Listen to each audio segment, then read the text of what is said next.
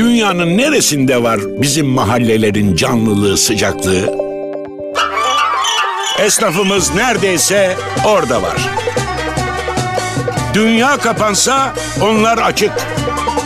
Yardıma açık. Eli açık. Değişime açık.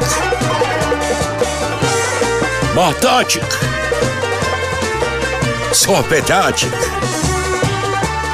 Mahallemizi mahalle yapan esnafımız için gelin el ele verelim. Bugün siz de mahalle esnafınızdan alışveriş yapın, kapıları hep açık kalsın. Kapımız esnafa açık.